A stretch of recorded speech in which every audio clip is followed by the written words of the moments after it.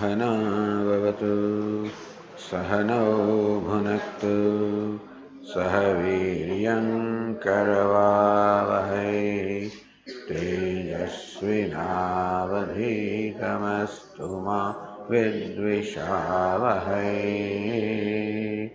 ॐ शान्ति शान्ति शान्तिः। ॐ पूर्णमदः पूर्णात् पूर्णमुदच्यते पूर्णस्य पूर्णमादाय पूर्णमेवावशिष्यते। ॐ शान्ति शान्ति शान्तिः। श्रुतिस्मृतिपुराणानाम् आलयं करुणालयं नमामि भगवत्पादं शङ्करं लोकशङ्करं शङ्करं शङ्कराचार्यं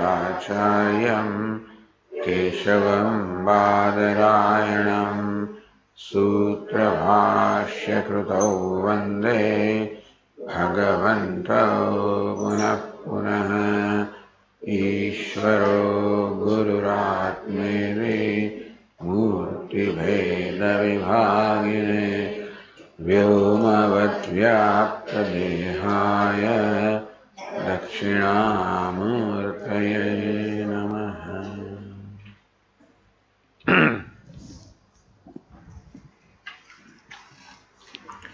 अस्तमिते आदित्ये याज्ञवल्क्य।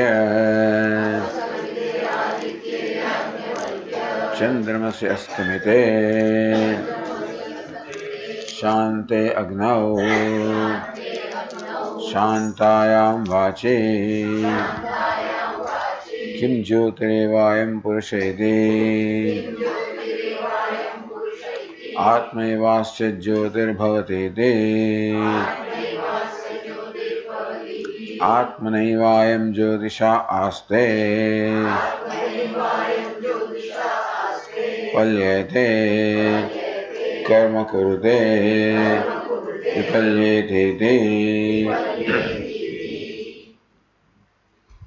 તો યાજ્ઞવલ્ક્ય ઋષિને જનક રાજા સ્વપ્ન અવસ્થા વિશે પ્રશ્ન કરે છે હે ભગવાન અસ્તમેદે આદિત્ય અસ્વપ્ન અવસ્થામાં આદિત્ય અર્થાત સૂર્ય જે છે એને કોઈ પ્રવેશ નથી અસ્તમિદે ચંદ્રમસી આપણે ચંદ્રમાનો પણ એમાં પ્રવેશ નથી શાંતે અગ્નવ આ અગ્નિની મશાલ છે એનો પણ પ્રવેશ નથી આ દીપકને પણ પ્રવેશ નથી શાંતાયામ વાચી આ વાણી કહો કર્મેન્દ્રિયો કહો જ્ઞાનેન્દ્રિયો કહો આ બધી પણ શાંત થઈ જાય છે અર્થાત પોતાના કાળમાં લીન થઈ જાય છે એવી અવસ્થામાં એટલે કે સ્વપ્ન અવસ્થામાં પણ બધો વ્યવહાર તો જાણે આસ્તે ઘરમાં ઉઠે બેસે છે. પલ્ય તે પછી આમ તેમ જાય છે. કર્મ કુરુતે બહાર બધું કર્મ કરીને વિપલ્યથી પાછું પાછો ફરે છે. સ્વપ્નમાં પણ આ બધો જ વ્યવહાર થતો જોવામાં આવે છે. એનો અર્થ એ થયો કે બધા વ્યવહારને પ્રકાશિત કરનાર કોઈક જ્યોતિ કે પ્રકાશક હોવો જોઈએ.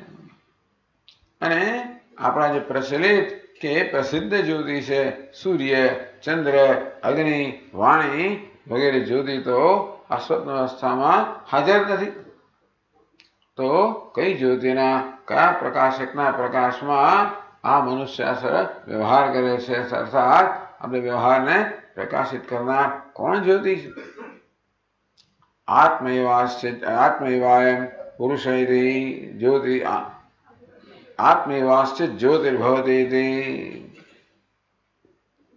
તો કે આત્મા પુરુષની અર્થાત આ મનુષ્યની આ કાર્યક્રમ સંગાતની જોના વ્યવહારને પ્રકાશિત કરનારી જ્યોતિ છે પ્રકાશક છે આત્મા એવં જ્યોતિષા આસ્તે ફલ્યતે કર્મ કરુતે વિફલ્યતે આત્મારૂપી જ્યોતિ પ્રકાશ જે કેવું છે સ્વયં પ્રકાશ છે અર્થાત એને પ્રકાશિત કરનાર કોઈ ન હોય એવા સ્વયં પ્રકાશ પરમાત્મા વડે ચૈતન્ય વડે આ સમગ્ર સ્વપ્ન છે એ ઉજાડવામાં આવે છે પ્રકાશિત કરવામાં આવે છે તો આ પ્રકારે સ્વપ્નના સંદર્ભમાં સ્વયં પ્રકાશ આત્માનો બોધ કરવામાં આવ્યો આગળ કહ્યું કે જાગ્રત અવસ્થાના અનુભવમાંથી પણ અવબોધ થઈ શકે હોત પરંતુ જાગ્રત અવસ્થામાં અનેક બધા પ્રકાશકો છે, સૂર્ય, ચંદ્ર વગેરે. અને આપણે માનીએ છીએ કે સૂર્ય, ચંદ્ર વગેરે જ્યોતિ આપણા વ્યવહારને પ્રકાશિત કરે, પણ માનીએ છીએ. એટલા માટે એ બધા નહીં, પરંતુ આત્મા પ્રકાશિત કરે છે. આ સૂર્ય, ચંદ્ર સ્વયં પ્રકાશ નથી. એ બધું સમજવું જરા અઘરું થઈ પડે. એટલે સ્વપ્ન અવસ્થાની અંદર તો આ કોઈ પણ આપણા પ્રસિદ્ધ પ્રકાશકો નથી છતાં પણ ત્યાં પ્રકાશિત હોય એ પ્રકારનો વ્યવહાર થાય છે એ બતાવે છે કે કોઈ સ્વયં પ્રકાશ તત્વ ત્યાં છે આત્મા એ તત્વ છે તો આ પ્રકારે સ્વપ્ન અવસ્થાના સંદર્ભમાં ઉપદેશ કરવામાં આવ્યો ત્યારે ગ્રંથકાર સ્વપ્ન અવસ્થાનું બહુ સુંદર વિશ્લેષણ કરે છે સ્વપ્ન અવસ્થાના અનુભવોમાંથી આપણને અહમ બ્રહ્માસ્મી, હું બ્રહ્મ છું. આત્માના બ્રહ્મપણાનો આપણે કેમ બોધ લઈ શકીએ? કહ્યું કે આપણને જયારે ઉપદેશ કરવામાં આવે તત્વમસી તું બ્રહ્મ છે. ત્યારે જાગૃત અવસ્થામાં આપણા વિશે આપણો જે ખ્યાલ છે કે હું જીવ છું, અલ્પ છું, દિનહીન છું આ પ્રકારના મારા વિશે મારા ખ્યાલો અત્યંત દ્રઢ છે તેથી જયારે મને કહેવામાં આવ્યું બ્રહ્મ છે જગત કારણ છે બ્રહ્મ તો જગત કારણ છે સર્જક છે પાલક છે લય કરતા છે નિયામક છે બ્રહ્મ વિશે મારો આવો ખ્યાલ છે બ્રહ્મ સર્વજ્ઞ છે હું અલ્પજ્ઞ છું બ્રહ્મ સર્વશક્તિમાન છે હું અલ્પશક્તિમાન છું વગેરે આ પ્રકારના ખ્યાલો તેથી હું બ્રહ્મ હોઈ શકું એ સંભાવના પણ જણાતી નથી હું બ્રહ્મ છું એ પ્રકારનું જ્ઞાન પ્રાપ્ત થયું તો દૂર રહ્યું પણ હું બ્રહ્મ હોઈ શકું એ પ્રકારની સંભાવના તો પહેલા મનમાં જન્મવી જોઈએ ને કે અલ્પ દિનહીન આ વ્યક્તિ આ જીવાત્મા પૂર્ણ હોય અનંત હોય એવી સંભાવના તો જન્મવી જોઈએ ને તો જાગ્રત અવસ્થાના મારા અનુભવ અને જાગ્રત અવસ્થાના મારા વિષયના અને ઈશ્વર વિષયના નિર્ણયો મારામાં આ પ્રકારની સંભાવના પણ જન્મવા ન દે. તો સ્વપ્નના જે અનુભવ છે એ આ સંભાવના સરળતાથી જન્માવા દે. હું જાણું છું કે જાગ્રત કે વ્યવહારિક જગત છે નું સર્જન કરનાર ઈશ્વર છે. ઈશ્વર અવ્યક્ત છે. પહેલા સમષ્ટિ માન કે સમષ્ટિ સૂક્ષ્મ શરીર, જેને હિરણ્ય ગર્ભ કહેવામાં આવે, એ પહેલા અભિવ્યક્ત થાય છે. એ દ્વારા ઈશ્વર આ સમગ્ર સ્થૂળ જગતનું, વિરાટનું, સમષ્ટિ સ્થૂળનું સર્જન કરે છે. હું જાણું છું.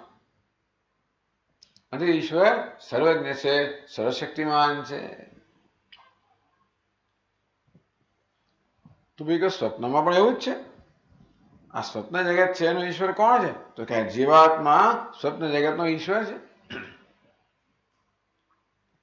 ત્યાં મારી પાસે બીજું કોઈ સાધન નથી એક મનરૂપી સાધનથી હું ત્યાં આગળ સમગ્ર જગતનું સર્જન કરું છું જેમ સમષ્ટિ મનરૂપી સાધનથી ઈશ્વર આ વ્યાવહારિક જગતનું સર્જન કરે તેવી રીતે આ વ્યક્તિગત મનરૂપી સાધનથી હું સ્વપ્નમાં મારા સ્વપ્ન જગતનું સર્જન કરું છું પાલન કરું છું મન જ્યારે સંકેલાઈ જાય સ્વપ્ન જગત પણ સંકેલાઈ જાય હું પણ સર્જક છું પાલક છું લય કરનાર છું આ પ્રકારે હું આ સ્વપ્ન તો ઈશ્વર છું આ ઈશ્વરમાં જે પ્રકારના એવા લક્ષણ છે કે બ્રહ્મમાં એવા લક્ષણ કારણ કે બ્રહ્મના આવા લક્ષણ દર્શાવ્યા છે યસ્ય અતઃ. જેનામાંથી આ જગતનો જન્મ છે, સ્થિતિ છે, ભંગ છે એને બ્રહ્મ કહેવાય. તો સ્વપ્ન જગતનો જન્મ, સ્થિતિ, ભંગ બધો આ મારે કારણે છે માટે સ્વપ્નના સંદર્ભમાં હું બ્રહ્મ કહેવાઉં. બ્રહ્મ હોઈ શકું એ પ્રકારની સંભાવના. કે હવે હોઈ શકું. મનમાં એ પ્રકારની સંભાવના જન્મે ત્યાર પછી એ જ્ઞાન માટેનો સર્વ પ્રયત્ન હું કરું એ પ્રયત્ન પણ ના કરો ને એ બધું ગ્રંથકાર સમજાવી રહ્યા છે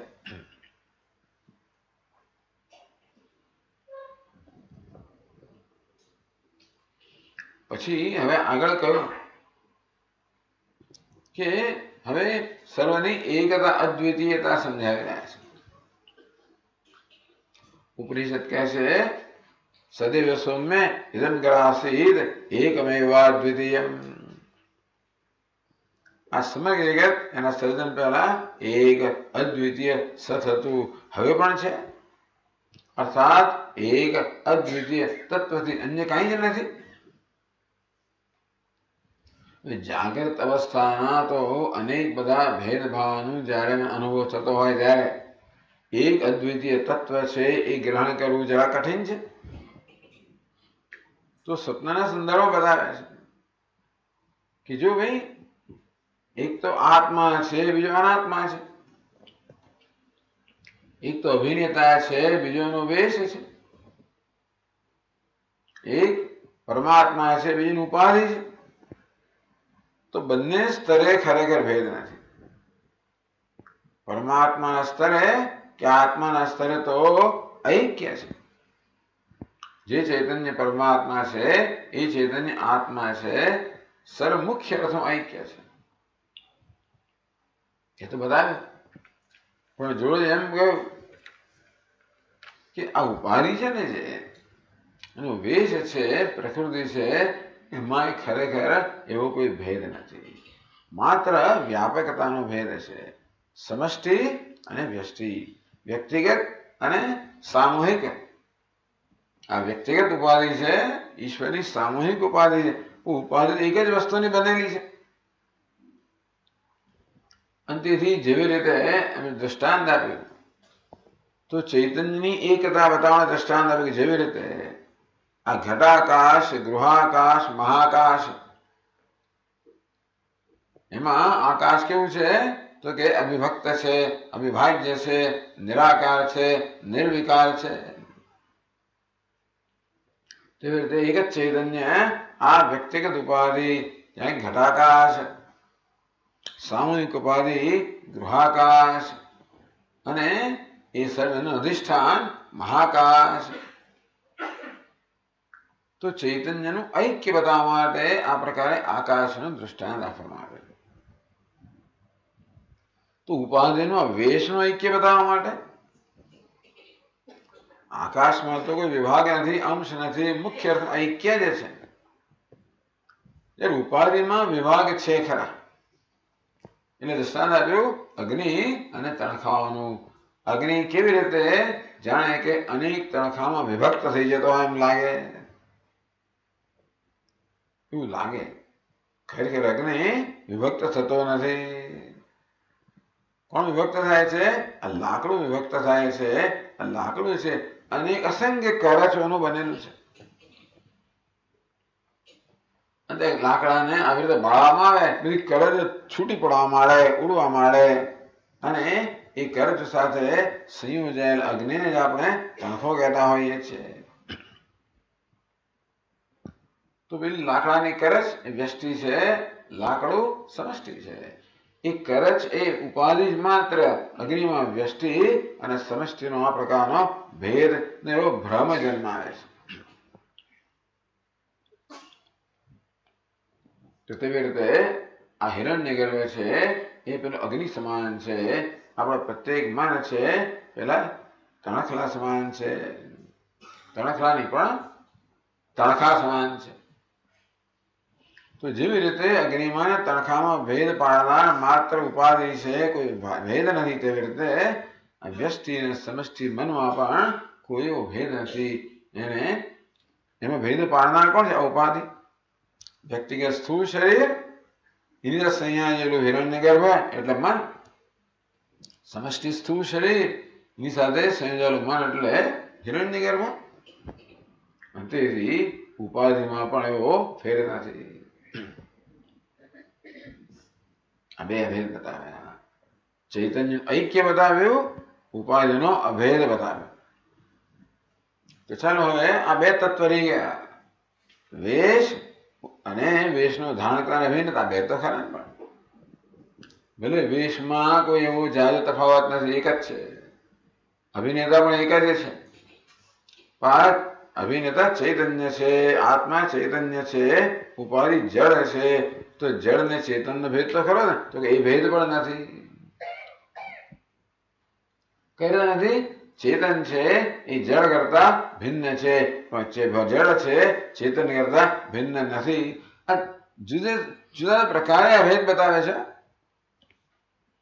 ચૈતન્યના મુખ્ય અર્થમાં ઐક્ય ઉપાધિમાં પણ એના ધર્મને કારણે અભેદ જ્યારે ઉપાધિ વેશ માટે આ પરમાત્માને વેશમાં ઐક્ય કેવું છે કે ભાઈ ભિખારી અભિનેતાથી ભિન્ન નથી અભિનેતા ભિખારથી ભિન્ન છે મળે અભિનેતા વેશ છે એ અભિનેતામાં દ્વૈત ઉત્પન્ન ન કરે મિથ્યા છે એ સત્યમાં ભેદ ઉત્પન્ન ન કરે એટલે આ બંનેનું એકતા જાણવા માટે અદ્વિતીયતા જાણવા માટે કે વાસ્તવમાં જળ પણ ચેતનથી દ્વૈત અને ભિન્ન નથી. તો જ અદ્વિતીયતા સિદ્ધ થાય. ક્યારે સિદ્ધ થાય? આ જળ છે, ઉપાધિ છે, વેશ છે, એ મિથ્યા છે. અને વેશને ધારણ કરનાર અભિનેતા છે, ચૈતન્ય છે, આત્મા છે, સત્ય છે. કે હું અને મારો પડછાયો મારો પડછાયો કોઈ ભેદભાવ ન જન્માવે. મારે મારા પડછાયા મને જુદી ચાવવાના પડે એવું ના બને. કારણ કે મિથ્યા છે. આ મિથ્યાનો ક્યારે પણ જુદી ગણતરી ના થાય. કારણ કે આ પડછાયો સ્વતંત્ર નથી. પડછાયાનું હવાપણું તો આ શરીરના હવાપણાને કારણે છે. શરીર જ પડછાયા રૂપે દેખાય છે. તે મિથ્યાનું હવાપણું, ભાસવાપણું તો સત્યને કારણે છે. સત્ય જ વાસ્તવમાં મિથ્યા જગત રૂપે છે ભાષે છે એને માટે ને કોઈ સ્વતંત્ર અસ્તિત્વ માટે એની સ્વતંત્ર ગણતરી ના થાય એ રીતે એ બંનેનું પણ હવે અભેદ બતાવે અનન્યતા બતાવે છે એક ઐક્ય છે બીજું અભેદ છે ત્રીજું અનન્યતા છે એના માટે ત્રણસો ને ઓગણચાલીસમાં પાના પર બસો ને શ્લોકમાં કહ્યું એના માટે જયારે ત્રીજું દ્રષ્ટાંત આવે છે તો ચૈતન્યનું ઐક્ય બતાવવા માટે આકાશનું દ્રષ્ટાંત ઉપાધિમાં અભેદ બતાવવા માટે અગ્નિ કણખાનું દ્રષ્ટાંત અને આ જળ ને ચેતન વચ્ચેનો અભેદ બતાવવા માટે બીજું દ્રષ્ટાંત આવે છે ચિત્ર અને ભીતનું ભીત પર ચિત્ર દોરો કે પટ પર ચિત્ર દોરો કેનવાસ પર પટ પર ચિત્ર દોરે એક ભીત છે બીજું ચિત્ર છે આ ચિત્ર ભીત કરતા ભીત ચિત્ર કરતા જુદી છે ચિત્ર ભીત કરતા જુદું નથી આમ ચિત્ર છે ભીતમાં કોઈ પ્રકારનો દ્વૈત ન જન્માવે અધિષ્ઠાન અને અધ્યાયરોપ કયો સંબંધ છે અધિષ્ઠાન અને અધ્યાયરોપનો સંબંધ સત્ય અને મિથ્યાનો સંબંધ એ સંબંધ બતાવે પેલામાં વ્યષ્ટિ સમષ્ટિનો સંબંધ પેલામાં ઐક્ય વ્યષ્ટિ સમષ્ટિ આ કેવું છે સત્ય અને મિથ્ય આ સમજેલા આખું વેદાંત બરોબર સમજાય ગયું તો ક્યાં તો તમને રજ્જુ સર્વનું દ્રષ્ટાંત આવે અથવા તો એથી વધીને અહીંયા આપણને ચિત્રપટ અને ચિત્રનું દ્રષ્ટાંત આવે છે તો ચિત્ર જેવી રીતે ચિત્રપટ પર દોરવામાં આવે તેવી રીતે આ જગત ચિત્ર ચિત્રપટ પર દોરવામાં આવે છે તો જો ભાઈ બે જગત છે એક તો સમષ્ટિ જગત છે જેને આપણે વિરાટ કહીએ સમષ્ટિ સ્થૂળ જગત છે એને આપણે વિરાટ કહીએ વિરાટ રૂપી જે ચિત્ર છે એ કયા ચિત્રપટ પર દોરવામાં આવ્યું તો કે હિરણ્ય ગર્ભરૂપી સમષ્ટિ સૂક્ષ્મ શરીર કહો સમષ્ટિ મન કહો એવા હિરણ્ય ગર્ભ પર આ વિરાટ રૂપી ચિત્ર દોરવામાં આવ્યું તો આપણું સ્વપ્નનું જગત મનામ સેવમ જગત ચિત્ર ભિત્તિ ભૂતાન દેહિનામ તો એવી રીતે સ્વપ્ન જગત જે છે એને મને ચિત્રપટ કહ્યું તો કે આપણું મન સ્વપ્નનું સ્થૂળ જગત છે એનું ચિત્ર કયું? વ્યક્તિગતમાં? જાગૃતનું સ્થૂળ જગત છે એનું ચિત્રપટ છે? સમષ્ટિ એટલે હિરણ્ય ગર્ભ. તેવી રીતે સ્વપ્નનું સ્થૂળ જગત છે એનું ચિત્રપટ કયું? સમષ્ટિ સ્વપ્નનું મન હવે આ ટૂંકમાં આ સત્ય ને મિથ્યા બતાવવા માટે જુદા પ્રકારનું દ્રષ્ટાંત આપે છે. એ દ્રષ્ટાંત શાસ્ત્રોમાંથી ભિન્ન ભિન્ન જગ્યાએથી લેવામાં આવે છે. તો સંક્ષેપ શારીરિક નામનો ગ્રંથ છે, એમાં આ પ્રકારે ભીત કે ચિત્રપટ અને ચિત્રનું દ્રષ્ટાંત આપેલું છે, એ લેવામાં આવે છે.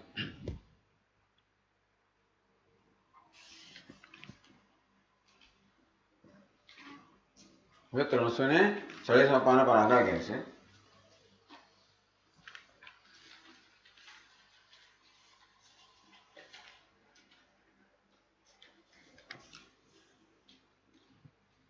તો બસો ને અઠ્ઠાણુંમાં શ્લોકમાં કહે છે યથા દીપેન કુડ્યે ભાસિતે તદ્ગતમ ચિત્રમપી ભાસિતમ ભવતી કલ્પના કરો કે આ દિવાલ પર એક સુંદર ચિત્ર દોરેલું છે કે ચિત્રપટ પર ચિત્ર દોરેલું છે એવું છે ને કે દિવાલને અને દિવાલ પરના ચિત્રને પ્રકાશિત કરવા માટે જુદા પ્રયત્ન ના જોઈએ દિવાલને પ્રકાશિત કરો દિવાલ પરનું ચિત્ર પ્રકાશિત થઈ જાય ને જો ચિત્રને પ્રકાશિત કરવા જુદો પ્રયત્ન જોઈતો હોત કે જુદો પ્રકાશ જોઈતો હોત તો ચિત્રની જુદી સત્તા કહેવાત પણ જે પ્રકાશ આ દિવાલને પ્રકાશિત કરે છે એ જ પ્રકાશ દિવાલ દ્વારા ચિત્રને પણ પ્રકાશિત કરે છે ચિત્ર છે એનું કોઈ આ પાછો અવાજ ઓછો થઈ ગયો ચિત્રનું કોઈ વ્યક્તિગત અસ્તિત્વ નથી દીપેને દીપેને કુડ્ય ભાષિતે તદગતમ ચિત્ર ભાષિતમ ભવતી કોઈ દીવો હોય કે પ્રકાશક હોય જેવી રીતે પેલી દિવાલને પ્રકાશિત કરે ત્યારે એ દિવાલ પહેલું ચિત્ર પણ પ્રકાશિત થઈ જાય છે તથા મને એવ સમષ્ટિ વ્યષ્ટિ રૂપમ ભિત્તિભૂતમ સાક્ષિણા સાક્ષાત ભાષ્યતે તો પેલો દીવો છે ને એ સાક્ષાત એટલે સીધે સીધી દિવાલને પ્રકાશિત કરે એ દ્વારા ચિત્રને પ્રકાશિત કરે આ દીવો છે ને ચિત્રને સાક્ષાત પ્રકાશિત નથી કરતો સીધો સીધો પ્રકાશિત નથી કરતો આ દીવો છે દિવાલને સાક્ષાત કહો સીધે સીધી પ્રકાશિત કરે આ રંગ છે ને બધા દિવાલ પ્રકાશિત થાય એના કારણે રંગ પ્રકાશિત થાય જો દિવાલ ન હોય તો રંગ ના હોઈ શકે દિવાલ છે મારે રંગ છે દિવાલ ચિત્રપટ છે રંગ એ ચિત્ર છે દિવાલ સૂક્ષ્મ જગત છે રંગ છે સ્થૂળ જગત છે તો એ ચૈતન્ય પણ પેલા કઈ દિવાલ છે મનરૂપી દિવાલ એને પ્રકાશિત કરે એ દ્વારા આ સ્થૂળ જગત રૂપી ચિત્ર છે એ પ્રકાશિત થાય તો આ દીવો છે દિવાલને પ્રકાશિત કરે દિવાલ દિવાલને પ્રકાશિત કરે ખરી દીવો છે ને દિવાલને પ્રકાશિત કરે દિવાલ દિવાલને પ્રકાશિત કરે તો કે ના દીવો કેવો છે પ્રકાશક છે પરંતુ અપ્રકાશ અપ્રકાશ એટલે જે પ્રકાશિત થતો નથી પ્રકાશિત કરનાર છે પણ પ્રકાશિત થતો નથી દિવાલ કેવી છે પ્રકાશિત થાય છે પણ પ્રકાશિત કરતી નથી દીવો પ્રકાશિત કરે છે પણ પ્રકાશિત થતો નથી થતો નથી એટલે દીવો પ્રકાશિત કરે છે એને પ્રકાશિત થવાની જરૂર નથી કારણ કેવો છે સ્વયં પ્રકાશ છે દિવાલ પ્રકાશિત થાય છે કારણ કે સ્વયં પ્રકાશ નથી મળે પ્રકાશિત કરી પણ શકતી નથી સ્વયં પ્રકાશ કોને કહેવાય જે અન્યને પ્રકાશિત કરે અને જેને પોતાને પ્રકાશિત થવા માટે બે કોઈ પ્રકાશની જરૂર ના પડે, એને સ્વપ્રકાશ કહેવાય. તો પરપ્રકાશ્ય કહો, એને ચેતન કહેવાય. જળ કોને કહેવાય? જે સ્વયં પ્રકાશિત ન હોય, જેને પ્રકાશિત થવા માટે અન્ય પ્રકાશની જરૂર પડે. દિવાલ કેવી છે? સ્વયં પ્રકાશથી નથી. અને એને પ્રકાશિત થવા માટે અન્ય પ્રકાશની, જેમ કે દીવાની જરૂર પડે. એ દ્રષ્ટાંત કોનું છે પરપ્રકાશ્ય પરપ્રકાશ અન્યથી પ્રકાશિત પર એટલે અન્ય પરપ્રકાશ પ્રકાશ પ્રકાશિત પરપ્રકાશ્ય અન્યથી પ્રકાશિત એને વેદાંતમાં જળ પણ કહે જળ એટલે પરપ્રકાશ્ય આપણે ચેતન જળ કહ્યું નહીં આ ચેતન પણ જળમાં જ આવી જાય ટૂંકમાં પરપ્રકાશ છે શરીર પોતાને પ્રકાશિત ના કહી શકે શરીર ક્યારે પ્રકાશિત થાય જ્યારે ચક્ષુને પ્રકાશિત કરતો હોય ત્યારે તો ચેતન કોને કહેવાય જે સ્વયં પ્રકાશ છે અન્યને પ્રકાશિત કરનાર છે એટલે દીવો શેનું દ્રષ્ટાંત છે સ્વયં પ્રકાશ દીવા કોણ દ્રષ્ટાંત છે પરપ્રકાશ બસ આવો ભેદ છે કોના વચ્ચે આત્મા અનાત્મા વચ્ચે ઉપાધિ વેશ એટલે ધારણ કરનાર અભિનેતા અને વેશ વચ્ચે ઉપહિત અને उपाधि बच्चे तो बसो अठारह श्लोक में कैसे अव्याकृत यथा सर्व। अप्रकाश्यम प्रकाशकम। सूत्रस्यापि विराजश्च। भूतभौतिकरूपिणः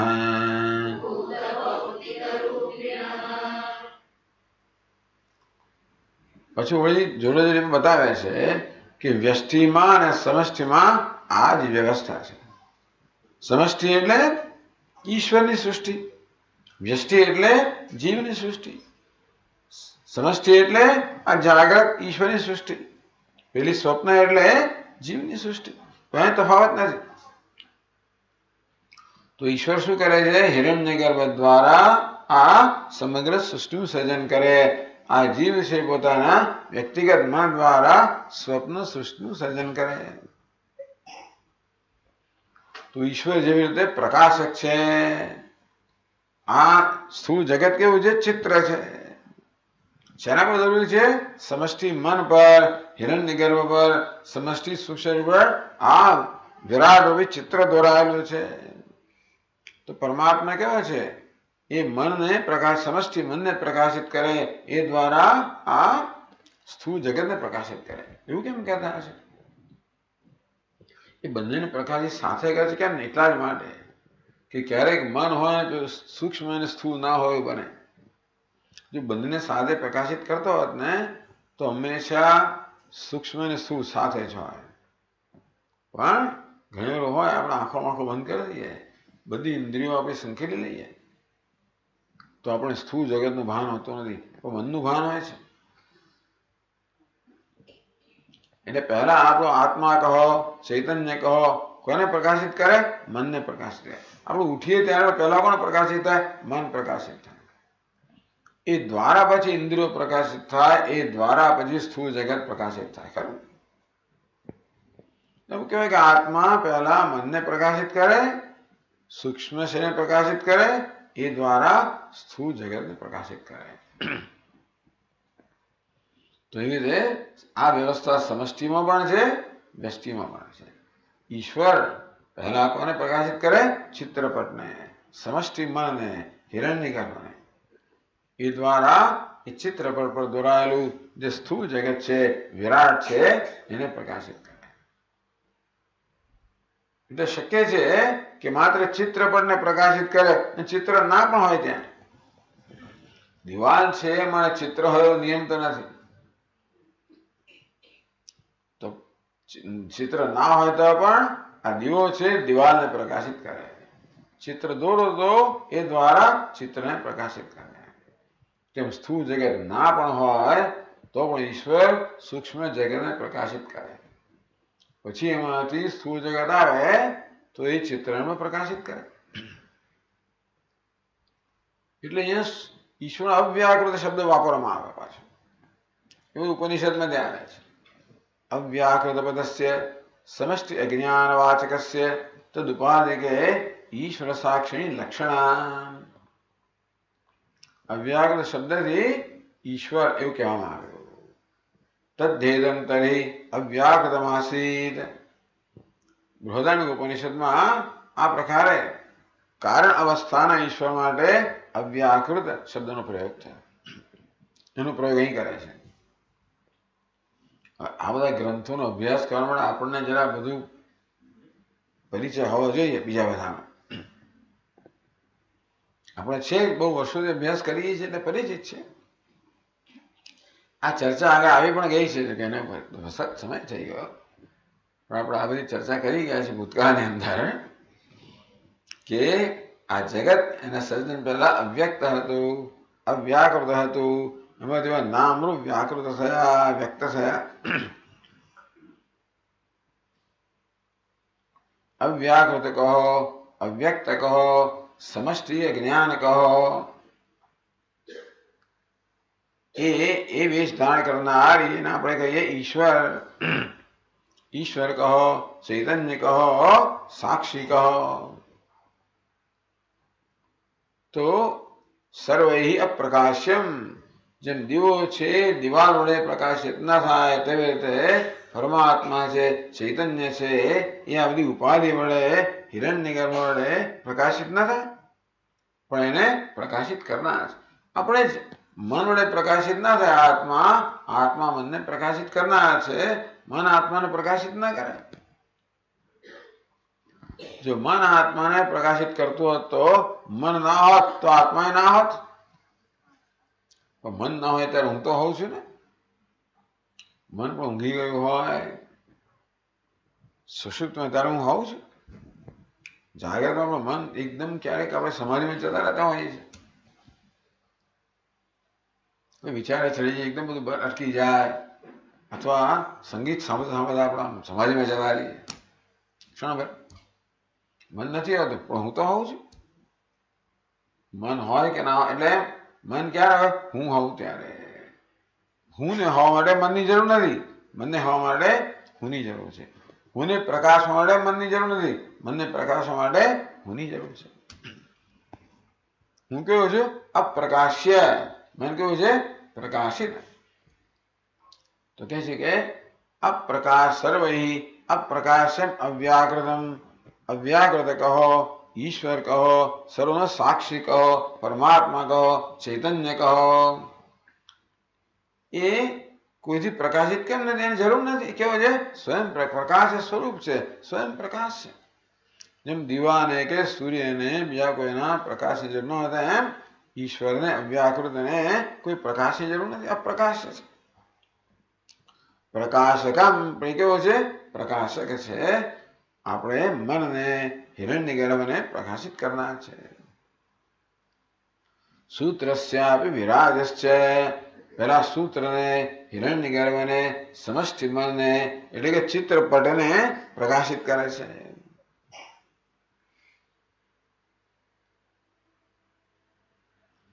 उपाधि माया तद विलास अप्रकाश्य भी सूत्र से तद्वारा विराजस्य प्रकाशक પરમાત્મા તો પોતાના મહિમામાં પ્રતિષ્ઠિત છે સ્વયં પ્રકાશ કારણ પ્રકાશ ચૈતન્ય એનું સ્વરૂપ છે સત્યમ જ્ઞાન સ્વરૂપ છે ચૈતન્ય સ્વરૂપ છે સ્વયં પ્રકાશ છે અન્યથી અપ્રકાશિત છે ન તત્ર સૂર્યો ભાતિ ન ચંદ્ર તારકમ સૂર્ય ચંદ્ર તારાઓ અગ્નિ વીજળી ત્યાં કશું પ્રકાશિત થતું નથી ન તદ ભાષાય તે સૂર્ય ન શશાંકો ન પાવક સૂર્ય ચંદ્ર અગ્નિ મન જ્ઞાનેન્દ્રિયો કર્મેન્દ્રિયો કોઈનો પ્રકાશ ત્યાં જરૂર નથી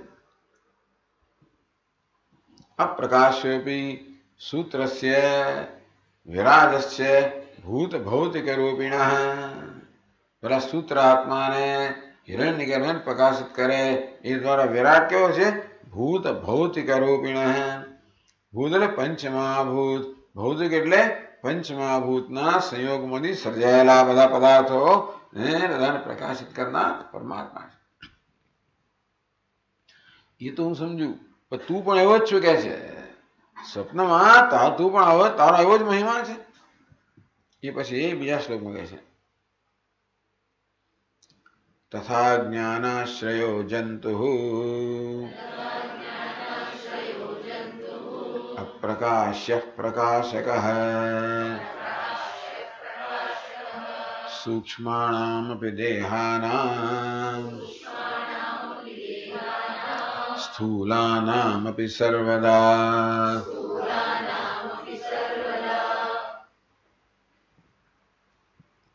તથા અજ્ઞાન આશ્રયો જંતુ.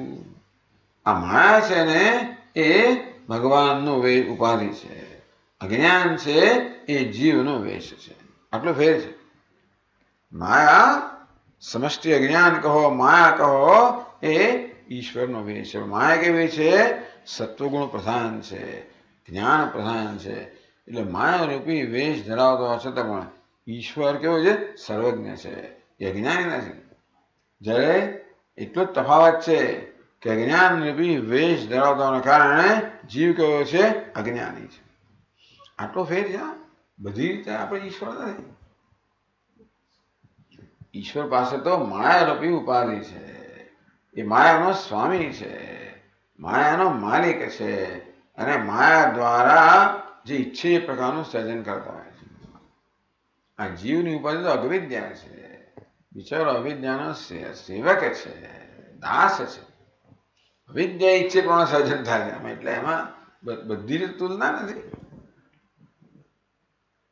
એક કેવો છે? સ્વામી છે, બીજો દાસ છે. એવા બધા ભેદ તો ખરા. એ સિવાય બધું ઘણું સમાન છે. અને એટલે કહેવામાં આવ્યું કે અજ્ઞાન આશ્રયો જંતુ अज्ञान रूपी उपाधि धरा हमारा जंतु कहो, जीवात्मा कहो, व्यक्तिगत साक्षी कहो। अज्ञान समस्त उपाधिवत अज्ञान से आश्रय है। तो मार उपाधि जब ईश्वर ने जीते हैं, अज्ञान उपाधि धरा हमारा जीव। मैंने अज्ञान से तो तुम कैसे नक्की करो? अहम अज्ञ है आकार अज्ञान अभिमान। ये पता अज्ञानी माने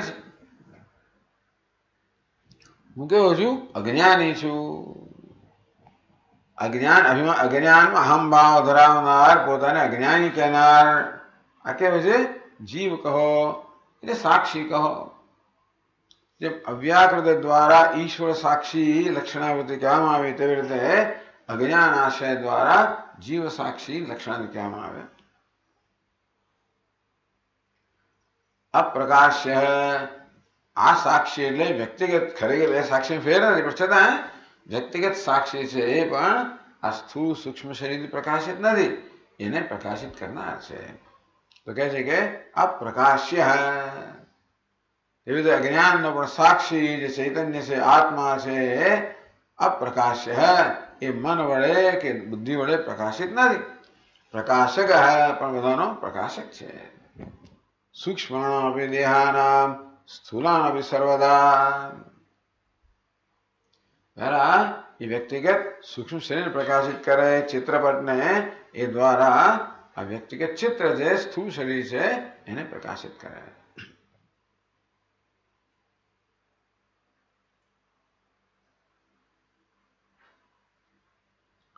जीव से अहंकार आरूढ़ अज्ञानम न ईश्वर से आटलो फेर समझवा કે જ્ઞાન જીવમાં છે ઈશ્વરમાં નથી નસીબ જો કે નહીં. તો આપણે કોઈ જાતની તકલીફ, તો શું થાય? ઈશ્વર અજ્ઞાન જાત ક્યાં આપણે? કૃષ્ણ ભગવાન બિચારા માયા મોહિત તો આપણે ક્યાં જવાના હતા? એ કેવો છે? માયાનો સ્વામી છે. નિત્ય મુક્ત છે. અને મારે અન્યને મુક્ત કરી શકે. જીવ કેવો છે? બદ્ધ છે. મુક્તિની જરૂરિયાતો છે. છે તો એક જ એક જ ચૈતન્ય એ જ કૃષ્ણ છે એ ચૈતન્ય જીવ છે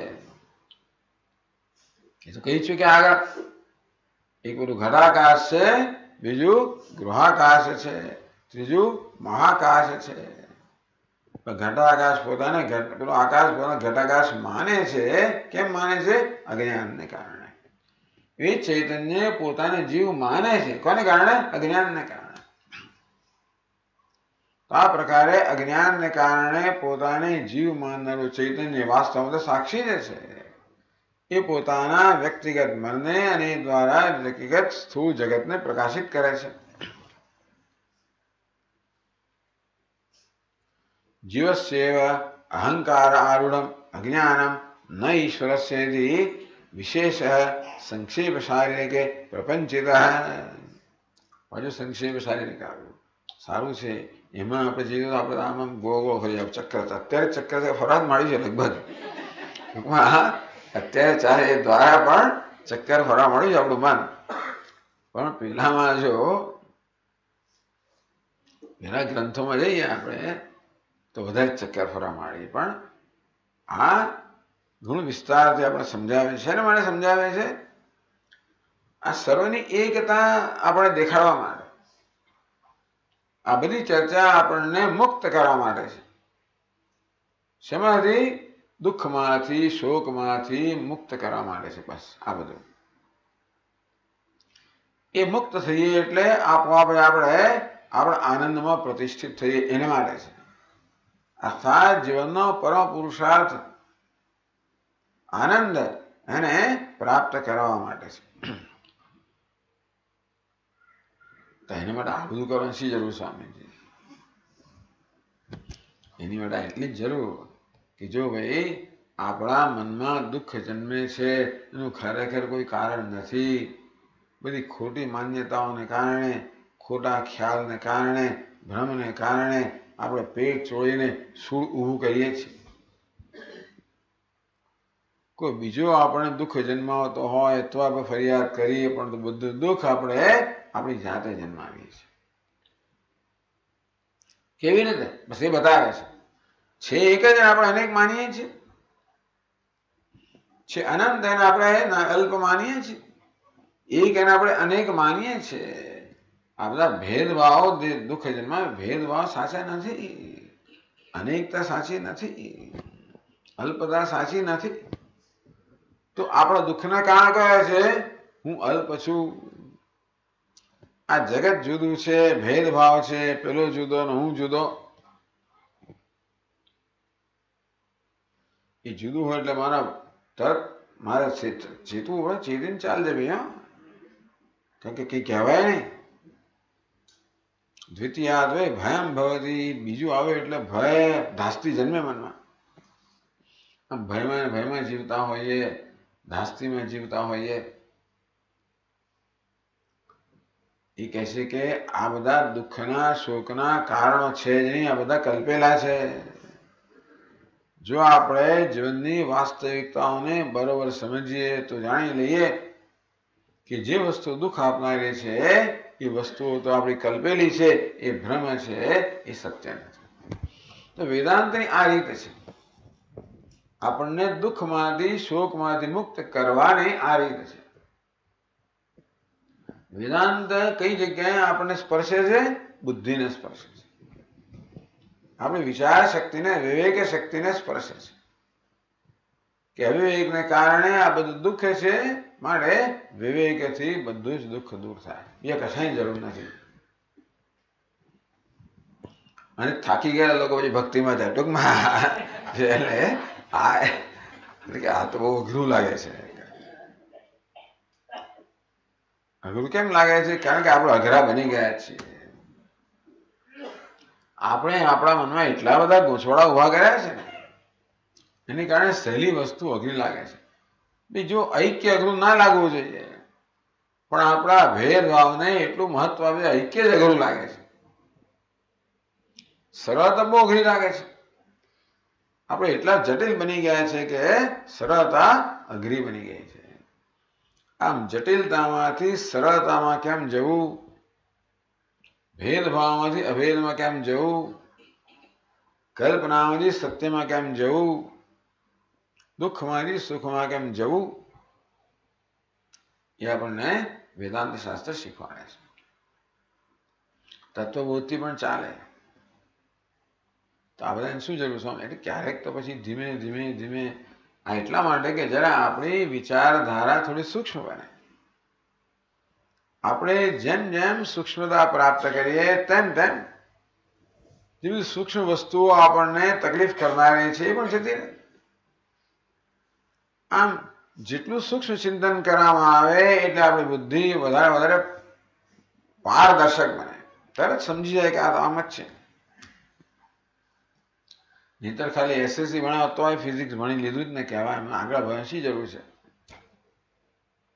જેમ આ ભૌતિક શાસ્ત્ર આગળ ભણીએ, તેમ તેમ આ જગતના બધા રહસ્યો આપણે ધીમે સ્પષ્ટ થતા જાય. જેમ વધારે ભણીએ, એમ વધારે સ્પષ્ટ થાય તેમ જેમ વધારે છે, આ તો જીવન પરનું ચિંતન છે. વેદાંત શું? આપણા જીવન પરનું ચિંતન.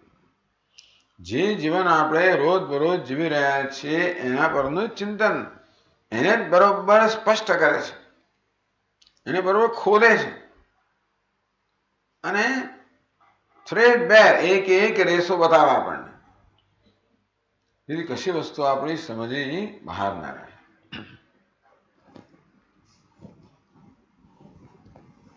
આ રીતે બતાવ્યું કે સાક્ષી, સાક્ષાત, ચિદભાસ્યમ મન, ચૈતન્ય છે પહેલા મનને પ્રકાશિત કરે એ દ્વારા અસ્થૂળને પ્રકાશિત કરે સમષ્ટિ સ્તરે પણ પહેલા સમષ્ટિ મનને પ્રકાશિત કરે એ દ્વારા આ સ્થૂળ સૃષ્ટિને પ્રકાશિત કરે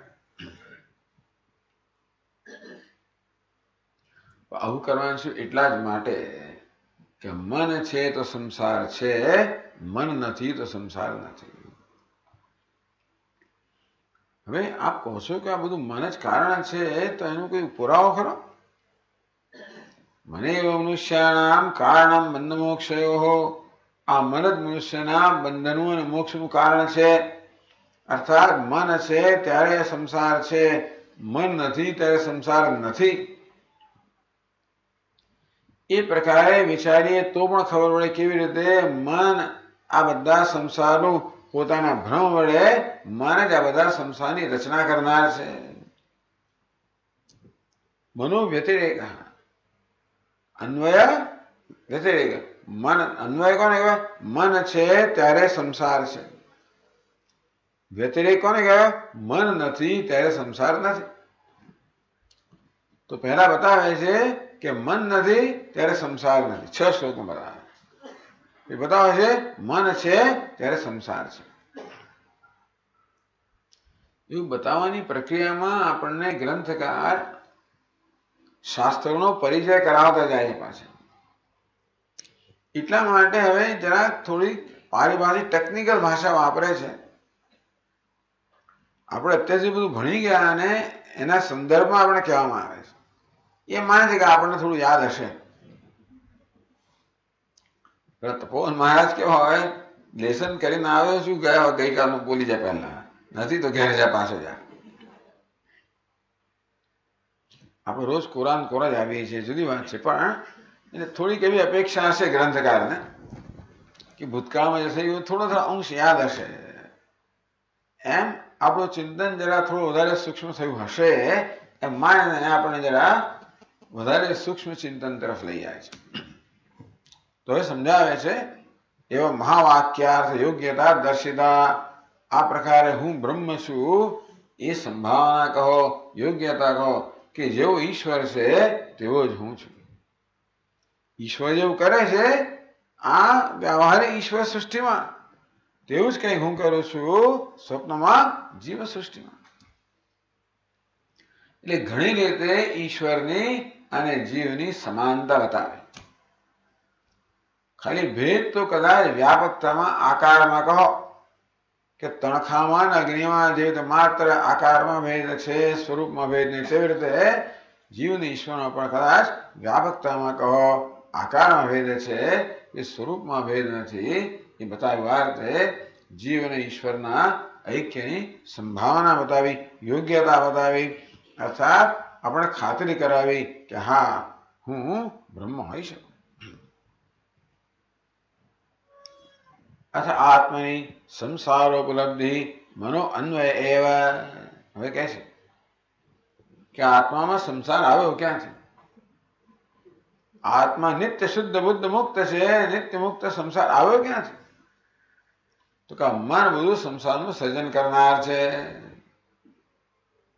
સંસારોપલબ્ધિ મનોન્વય સંસારની ઉપલબ્ધિ કહો સંસારનો અનુભવ કહો ક્યારે થાય જ્યારે મન હાજર હોય ત્યારે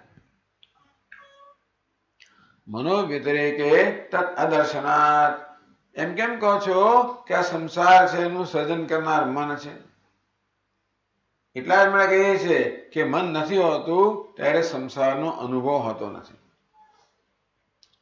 જે અવસ્થામાં મન નથી હોતું એ અવસ્થામાં સંસારનો અનુભવ નથી હોતો મારે કહીએ અને જે અવસ્થામાં હોય છે, એમાં સંસાર અનુભવ હોય છે. મારે કહીએ છીએ કે આ બધું તકલીફ કરનારા મન છે.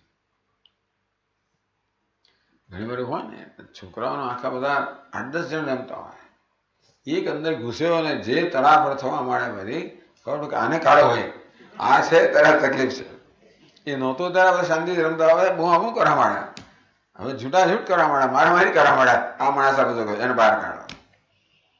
અન્વય અને વ્યતિરેક તેમ અન્વય મન છે ત્યારે સંસારનો અનુભવ છે. મન નથી એ અવસ્થામાં સંસારનો અનુભવ નથી.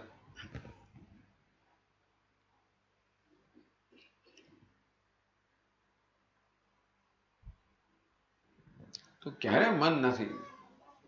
ત્રણ વખતે મન નથી.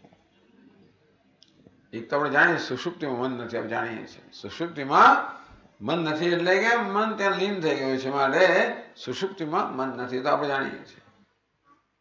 મોક્ષમાં પણ નથી, બરોબર છે. મોક્ષ કોને કહેવાય? જેને જ્ઞાન થયું છે એ મુક્ત છે. એ શું જાણે છે કે આ મન તો મિથ્યા છે.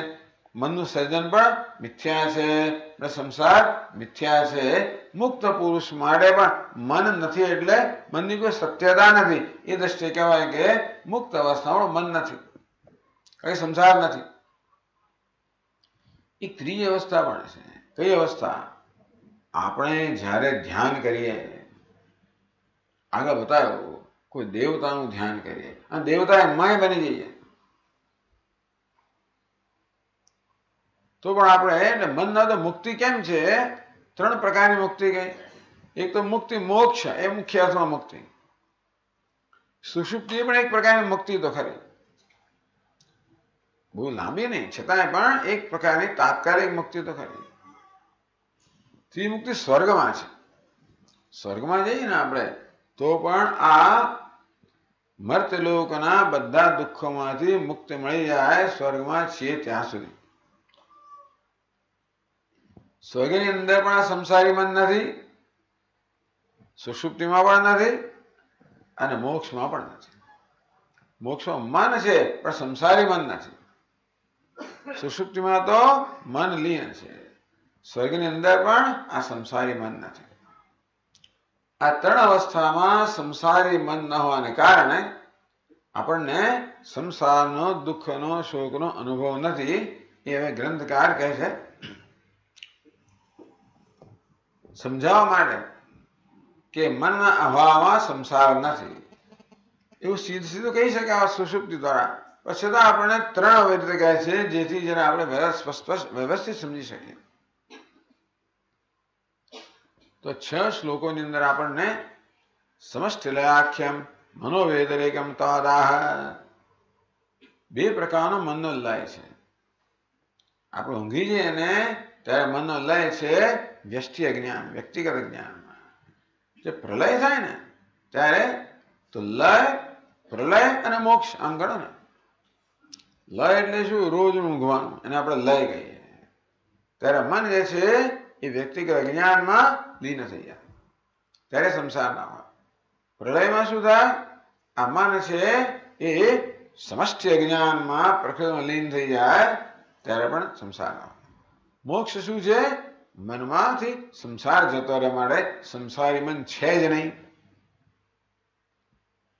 આ ત્રણ પ્રકાર ત્રણ પ્રકારનો લય બતાવે છે આ ત્રણ અવસ્થામાં સંસારનો અનુભવ નથી એ બતાવે છે તો પહેલા બતાવે કેવી રીતે જ્યારે સમષ્ટિમાં લય થઈ જાય અર્થાત થતો હોય છે જ્યારે સમષ્ટિ આવે ત્યારે આખું જગત ઊંઘી જાય બ્રહ્માજી હતા ભગવાન ઊંઘી જાય ત્યારે સમષ્ટિ લય થઈ જાય અને ત્યારે પણ સંસારનો અનુભવ નથી તો કહે છે इन्धनाभावतो वह्निः महावन्नौ यथैव हि लीयते त्रमनां सेवम् सूत्रे मुक्त्यादिगच्छता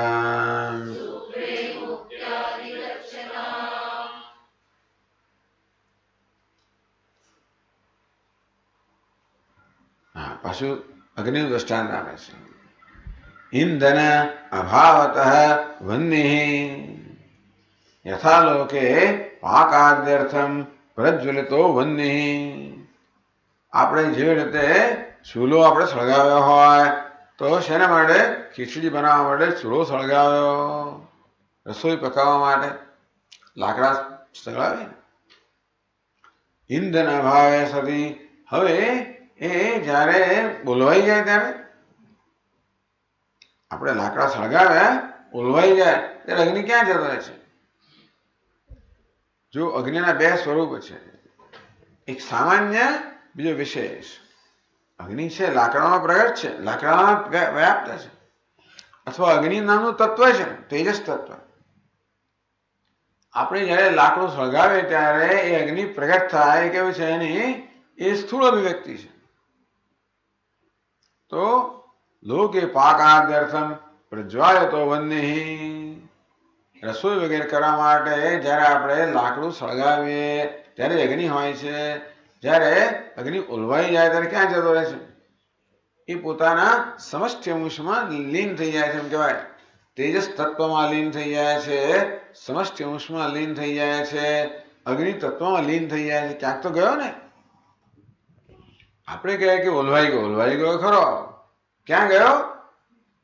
આ લાકડામાં જ્યારે આપણી પેલી જવા જ્વાળા હોય કેવું છે, એની પ્રગટ અભિવ્યક્તિ. વિશેષ અભિવ્યક્તિ. એ પહેલા કેવો હતો? સામાન્ય હતો. અગ્નિ સામાન્ય તો છે જ, નહીં તો પ્રગટે જ નહીં. લાકડાને તમે આપણે મંથન કરીએ અને એમાંથી અગ્નિ પ્રગટે ક્યારે બને, લાકડામાં હાજર હોય ત્યારે. સામાન્ય અવસ્થામાં હોય, એ જ વિશેષ અવસ્થા પ્રાપ્ત કરે. તો આપણે આવી રીતે લાકડું સળગાવીએ એટલે જે જ્વાળા છે, શું છે? અગ્નિની વિશેષ અભિવ્યક્તિ છે. હવે જ્યારે ઓલવાઈ જાય ત્યારે ક્યાં જતો રહે પોતાના સામાન્ય તત્વમાં મળી જાય એને શું કહેવાય આ વ્યક્તિ અગ્નિનો સમષ્ટિમાં લય થઈ ગયો સમષ્ટિમાં લય દ્રષ્ટાંત આપ્યું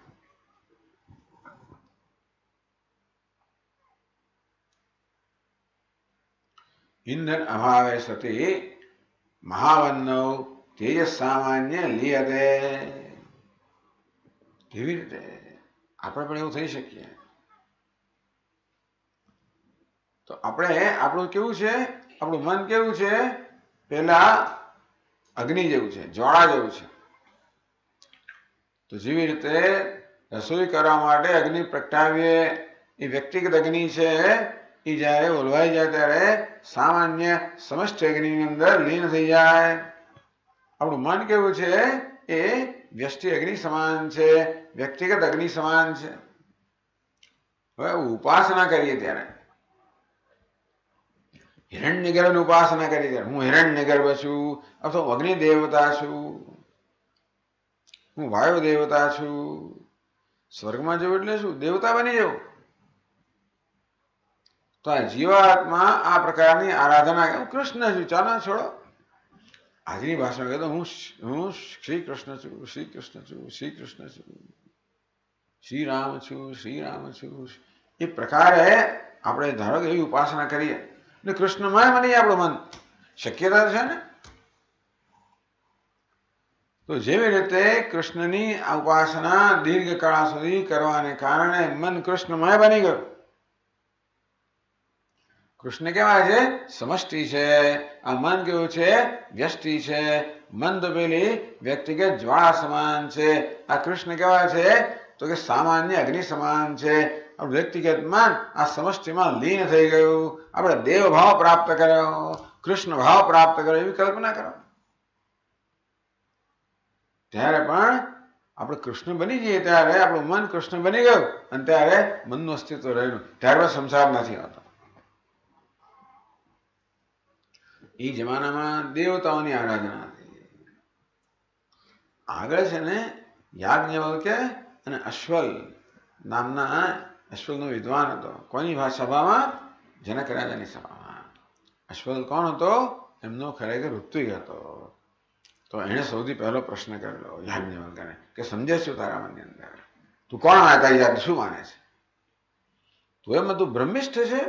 સમર બ્રહ્મમાં શ્રેષ્ઠ જ્ઞાતા તું છે? આ ગાયો લઈ જાય એટલે તું સમજે જ છું? કે અમે બેઠા નથી અરે બહુ દબડાવે આજ્ઞા શાંત રહ્યા પેલા પ્રશ્ન પૂછો. મુક્તિ, અતિમુક્તિ? બહુ ટેકનિકલ આપણે બધું ચર્ચા કરી ગયા છે. પણ ત્યાં મુક્તિ ને અતિમુક્તિનો પ્રશ્ન કર્યો. ઉપાસનાનો પ્રશ્ન. કે આપણે ધારો યજ્ઞ કરતા હોઈએ ને એને અધિયજ્ઞ કહેવાય. યજ્ઞમાં કોણ હોય? ચાર પેલા ચાર ઋતુજો હોય. ઋગ્વેદનો, યજુર્વેદનો, સામવેદનો, અથર્વવેદના ચાર ઋત્વિક હોય. ઋગ્વેદના ઋત્વિજને હોતા કહેવાય. યજુર્વેદના ઋત્વિજને અધ્વર્યુ કહેવાય. સામવેદના ઋત્વિજને ઉદ્ગાતા કહેવાય. અથર્વવેદના ઋત્વિજને બ્રહ્મા કહેવાય એવું હોય. એવો યજ્ઞ ચાલી રહ્યો, એવી કલ્પના કરો. આ વ્યક્તિગત સ્તરે આ અધિયજ્ઞ થયો અધ્યાત્મ સ્તરે પણ આવા ચાર હોતાઓ છે. એ કોણ છે? વાણી છે. બીજું કોણ છે? ચક્ષુ છે. ત્રીજું કોણ છે? પ્રાણ છે. ચોથું કોણ છે? મન છે. વાણી કેવો છે? ઋત્વિક નો હોતા, પંડિત હોતા છે. ચક્ષુ કોણ છે? અદ્વૈયુ છે. પ્રાણ કોણ છે? તો કે ઉદ્ગાતા છે. અને મન કોણ છે? બ્રહ્મા છે. તેમ આધિદૈવિક સ્તરે. કોણ છે? અગ્નિ દેવતા છે, સૂર્ય દેવતા છે, વાયુ દેવતા છે, ચંદ્રમા છે. અધ્યાત્મ, અધિયજ્ઞ અધિદૈવ ત્રણ સ્તરે તો ત્યાં ઉપાસના કહેવામાં આવી કે આ જે અધ્યાત્મ છે ને વ્યક્તિગત એ આરાધના કરે કે આ વાણી છે એ વાસ્તવમાં અગ્નિ છે કોણ આરાધના કરે પેલો હોતા આરાધના કરે કે યજમાનની જે વાણી છે એ અગ્નિ છે એ હું છું વાણીનો અધિષ્ઠાન દેવતો કોણ છે અગ્નિ અગ્નિ જ વાસ્તવમાં પોતાના અંશ લઈને વાણી રૂપે રહેલો છે. અગ્નિ વાણી શું છે? અંશ છે છે. અગ્નિ કોણ છે? સમષ્ટિ છે. તો વાણી જે છે, અગ્નિ છે, એ પ્રકારની આરાધના કરવામાં આવે, તો વાણી અગ્નિ રૂપ ધારણ કરેલ એટલે આ વ્યષ્ટિ સમષ્ટિ બની જાય. તો શું અતિમુક્તિ આ ધ્યાનને મુક્તિ કહેવામાં આવી, એના પરિણામે સમષ્ટિની પ્રાપ્તિને અતિમુક્તિ કહેવામાં આવે.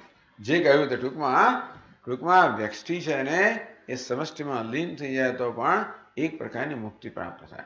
આપણે પણ સમષ્ટિમાં જ્યારે પ્રલય આવશે, લીન થઈ ત્યારે દીર્ઘ કાળ સુધી આપણે પણ એ પ્રલયમાં રહીશું. એવી એક પ્રકારની મુક્તિ છે. વળી પાછા જાગ, કર્મ આપણને જાગૃત કરશે.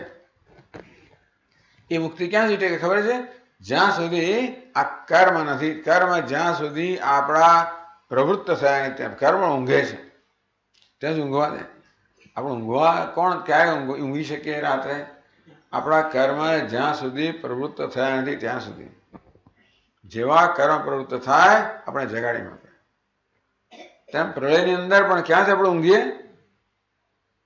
જ્યાં સુધી સમષ્ટિ કર્મ હજી પ્રવૃત્ત થયું ત્યાં સુધી એ સમષ્ટિ કર્મ પ્રવૃત્ત થાય એટલે બધાને જગાડી દે એટલે કર્મના અભાવની અંદર ત્યાં આગળ આપણે મુક્તિ છે. કર્મ આવે એટલે મુક્તિ જતી રહે છે. જેમ આપણે સુષુપ્તિમાં હોઈએ, તો કર્મનો અભાવ હોય ત્યાં સુધી મુક્ત છે જો કર્મ પ્રવૃત્ત થયું, આપણે જગાઈ રહે, વળી પાછી મુક્તિ જતી રહે. એટલે બહુ ટકાઉ મુક્તિ નથી, પણ મુક્તિ તો ખરી. તો વ્યક્તિગત લય થાય, સુષુપ્તિમાં એક પ્રકારની મુક્તિ ક્યાંથી ચાલે? કર્મ હોય ત્યાં સુધી. પ્રલય હોય ત્યારે પણ એક મુક્તિ લાંબા ગાળાની મુક્તિ, પણ છતાં ટકાઉ તો નહીં, એ પણ ક્યારેક તો દૂર થઈ જાય. મુક્તિ તો ખરી, એટલે મન નથી ત્યારે મુક્તિ, ત્યારે સંસાર નથી સમષ્ટિમાં. સમષ્ટિમાં વ્યક્તિમાં સમષ્ટિમાં લય થાય ત્યારે મન નથી, ત્યારે સંસાર નથી. અને ત્રીજું, જ્યારે મોક્ષ હોય, સંસારી મન નથી, ત્યારે આ તો પેલું મોબાઈલ આવો અવાજ કરે છે. ક્યારેક ઉઘાડો પડે ને તમને, ક્યારેક તમારે રોજ રોજે તમારી લાંચ બચાવતું હતું કોઈક દાડો બોલી જાય. એમ કરીને તમને ઉઘાડા પાડે. ત્રીજી ખરી મુક્તિ કઈ કહેવાય? મુક્ત પુરુષની. જ્યારે સંસારી મન નથી. ટૂંકમાં ત્રણ આપણને અહીંયા આગળ દ્રષ્ટાંત આપે છે. કે વ્યક્તિગત લય થાય, સુષુપ્તિમાં ત્યારે પણ સંસાર નથી, કારણ કે મન નથી. સમષ્ટિ લય થાય પ્રલયમાં ત્યારે પણ સંસાર કારણે મન નથી. અને મોક્ષ થાય, ત્યારે તો મન છે જ નહીં. સંસારી મન સંસાર નથી માટે ત્યારે પણ સંસાર નથી. આ મન નથી, ત્યારે સંસાર નથી. મન છે, ત્યારે સંસાર છે. એને વ્યતિરેક અને અન્વય એ રીતે બતાવે છે આપણને. ચલો હવે આપણે બેકગ્રાઉન્ડ તમે ભૂમિકા કહી, હવે શ્લોક આપણે આવતા ક્લાસમાં લઈશું. ॐ पूर्णमदः पूर्णमिदं पूर्णात् पूर्णमुदच्यते। पूर्णस्य पूर्णमादाय पूर्णमेवावशिष्यते। ॐ शान्तिः शङ्करं शङ्कराचार्यं केशवं बादरायणम् सूत्रभाष्यकृतौ वंदे भगवन्तौ पुनः पुनः। ईश्वरो गुरुरात्मेति मूर्तिभेदविभागिने व्योमवद्व्याप्तदेहाय दक्षिणामूर्तये नमः। ॐ शान्तिः शान्तिः। हरिः ॐ श्रीगुरुभ्यो नमः। हरिः ॐ